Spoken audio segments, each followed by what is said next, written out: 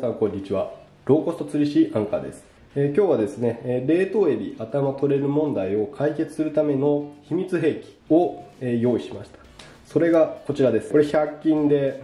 売ってましたヘアピンっていうんですかね。はい髪留めです。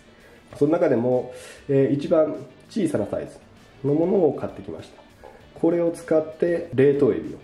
頭が取れないような仕組み仕掛けを作っていきたいと思います。作っていく前にですねまず冷凍エビの頭が生きエビに比べて取れやすい理由っていうのを説明したいと思います。まずですねエビ自体がこう解凍して鮮度が落ちるとどういう状態になるかって言ったらまずえ身とえ殻の間っていうのが隙間が空くようになります。鮮度がいいものは殻と身が密着しているような形なので息のいいエビの殻を剥こうとした時になかなか剥けないんですけれども一度冷凍してしまうと、えー、殻を身から外そうと思うと結構簡単に外れるんです、まあ、要するに身と殻の間に、ま隙間が空きやすい状態っていうのが、ま、冷凍エビで劣化した状態ですね。でさらにですねこの身と頭をつなぐ、えー、この部分。ここの、えー、部分が今まだあの解凍して間もないんで隙間もないんですけれどもこの身と頭の部分の特に頭のこの根元ですね。この根元の中身っていうのが、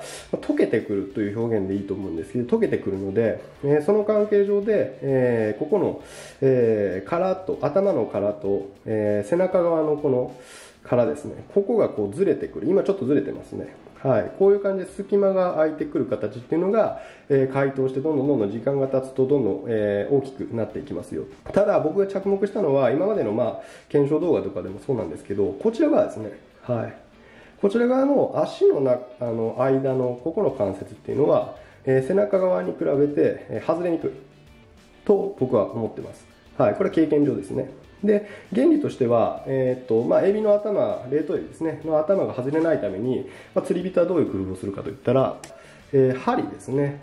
はい。この孫針を第一関節の間から通してで、えー、ここの頭の部分でこうこういう形であの固定するっていうのがえー、こう工夫としてやられてきたことなんですけども、まあ、これをやっちゃうとどうなるかって言ったら、えここの殻の頭のここのズレですね。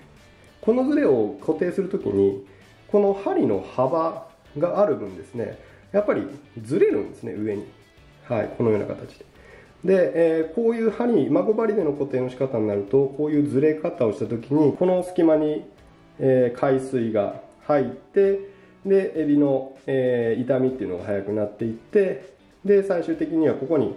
えー、水流という水圧というかですね海水がどんどんどんどん入っていって最終的に頭が、えー、もうちょっと取れ取れかけてるというかちょっと溶け始めてるんですけどここから、えー、頭が外れる。といったのが今までの、え冷凍エビを使う時にこう針で固定するということに関しての、え弱点というか、まあ、どうしても、え孫針という針の形の性質を使った時には、えそこはもう避けれない。ことだと思うんです。で、じゃあ、えー、まあ、どうやってね、この頭を固定するかっていった時に、まあ、この針状というかですね、こうフック状のもので固定するっていうことが、自体が、えー、あまり良くないというかですね、適してないんじゃないかと思った時に、はい、こちらですね、このヘアピン、これを使えるんじゃないかなと思ったんです。でこちら上げてみます。まあ、銀色の方が良さそうですね。はい。これね誰もが見たことある形だと思うんですけれどもこれ分かりますかね？こういう固定ができるような、えー、ものになってるんです。だから僕が考えたのはこれをここの隙間にこう入れ込んででこういう固定ですね。これをしたらエビの頭取りにくくないですか？っていうのが今回考えたことなんです、はい、この状態で釣りをしたら頭固定されないですか？っていう話ですね。でもちろんここの、えー、関節の部分とかが外れることもあるんですけれども今までのここのね、あのー、針での固定に比べるとフィットしますけどね。この方がいいんじゃないかな。はい、これを試していきたいということですね。じゃあこれをどうやって仕掛けにつけるのかっていった時に、えーまあ、これ何も穴とかが開いてない状態なので、えー、まあ、穴開けていきましょうということですね。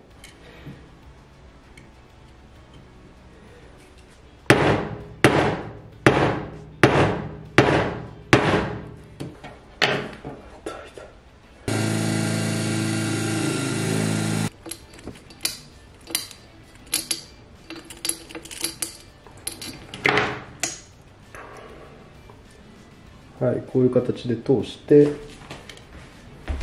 はいこういう形でできました。ちょっと長めですけどね。はい。で、えー、エビにですね装着していきたいと思います。はい。エビの尻尾を切ってで一番最初にこれを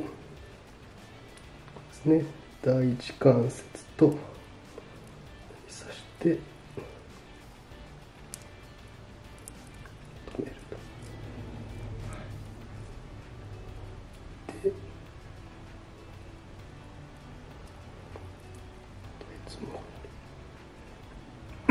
でで針はまあ腹側の関節にもう一つですね、えー、止める役割として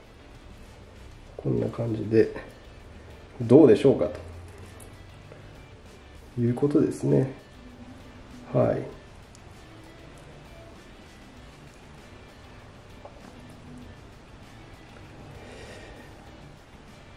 はい完成という形です。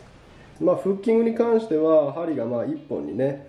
えー、孫針が1本になるので、えー、どうかなと思うところはあるんですけれども、えー、挑戦ですね。これで身の頭が取りにくいかどうかっていうのをまたあの検証動画上げますので、えそちらを参考にしてみてください。はい、今後もですね、えこういう形でエビの冷凍エビの頭をね取れない取りにくくするための工夫っていうのをやっていこうと思うのでまた動画を見てみてください。それではまた。